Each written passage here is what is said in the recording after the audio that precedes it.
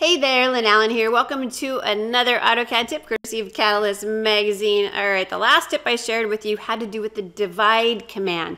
So this week we're going to talk about its sister command, the conquer command. No, not really.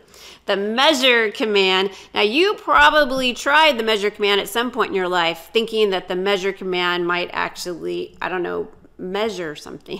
probably you wanted to know the length of something and were horribly disappointed when it didn't go like that. But the measure command is actually a very powerful command as long as you know how it works. Trust me, you're gonna you're gonna see that it comes in handy. So um, so the if you recall, the divide command allows you to take an object and divide it up into evenly spaced segments. And uh, you can use points as markers or you can use blocks as markers. So the measure command is very similar, except that you're going to tell it the length of those segments where you want those markers to go. You'll see what I'm talking about. All right, so let's try measure. Let's go back up here to the draw panel on the ribbon. I'm gonna drop this down and this is divide if you recall and this guy, looks like there's a little bow tie there, is the measure command. All right, I'm gonna go ahead and grab measure, select the object you want to measure. I'd like to start off with this polyline right here. And I want to divide it into six unit segments, you know, six inches, six millimeters, whatever it is. I'm gonna say six, that's the length of my segment. And you're like, oh, all right, well, what happened? I don't see anything. Now, do you remember that it places points as markers and by default points are set to dots. They're just one pixel in size, so you can't see them. They're top secret, they're hiding. So you're gonna have to come up here to utilities and change the point style so that you can see them. They're set to these little dots, worthless. Also worthless, can't see them at all. Like to set them to these big old X's so you can definitely see them. I'm gonna say, okay, and now we're in good shape. All right, now I can definitely see them. Now, so this is six units in length and six units in length, six units in length. What? What's this over here? That's the leftover, right? I picked a number that didn't go into this polyline evenly. How did it decide which end to start at? Well, I must have selected the polyline towards this end. So it does matter where you select the object. Don't just be picking it willy-nilly. You got to pick it in a location that's because it's very important. It's going to determine exactly uh, the you know where the segments are going to go. Okay. All right. So let's let's come down here and let's work with this spline. So I'm going to go ahead and go back into the measure command. Let's go ahead and arrow up to go back into measure, and then I'm going to go ahead and select this spline. And for the segment length, let's do 10. Now, did you see where I selected that spline? Because once again, that's important, right? So 10, 10, 10, 10, 10, and the leftovers. All right, and you can see I can see it this time because my point display mode is set to 3.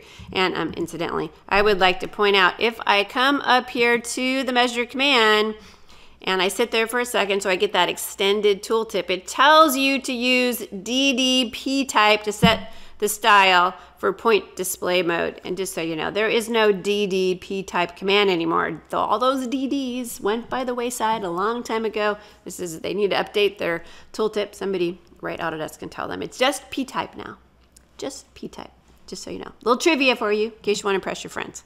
All right, so there was that block option. Now that block option is very powerful. Have you ever wished that you could place a block at evenly spaced intervals on an object, maybe you, you did it once and then you use the array command, way easier to use measure, I promise. So let's go back into the measure command and I'm going to select the spline. Which end am I going to pick? Let's pick over here, all right? So we're really paying attention now to which side we're selecting the object at. That's really, really important. I'm going to do B for block, and I happen to have a block in here. It's this guy up here, actually, and it is called bar because, you know, bars are fun. So let's type in bar. I don't know. Are they fun? Align the block with the object. I'll use the default. This time I'll say yes because I like default. And the length for the segment, how about we'll just say five. And as you can see, 5555, a little bit left over at the end, and you'll see that it rotated it so that it was perpendicular to the object as it went along. So it was happy to rotate it. Now let's undo that. Let's do one more. Let's not align it this time. That means it will not rotate it. It's going to maintain the angle that it was saved this, in, for the state that it was saved in. All right, so one more time. I'm going to arrow it. Let's go to measure. You know, I'm lazy and I want to go pick it. I just want to use my arrow key. That's fast. Select the same object and I'm going to do B for block. It does not remember that I did block before, unfortunately. It's a little ancient. Kind of, the command's a little ancient, I have to say. Enter the name of the block to insert. Once again, I got to type it out too. I hope it's not a long block name because you're not going to be happy about that.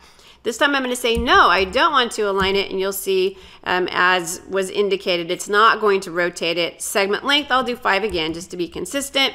You can see which side I, I picked it at, the side over here, clearly, and it did not rotate it as it copied it along. All right, so are you thinking in your head about the many ways you can use the measure command? Because I bet you in your design life it would have come in handy, all right? But now you, you're the expert. You're gonna save time. What are you gonna do with all that time in your day? I think you're to find something fun and exciting to do. Don't tell your coworkers. It's all about you. It's only about you. Okay. all right. Thank you for joining me. I'm to see you back here in two more weeks. All right. Have a great rest of the week.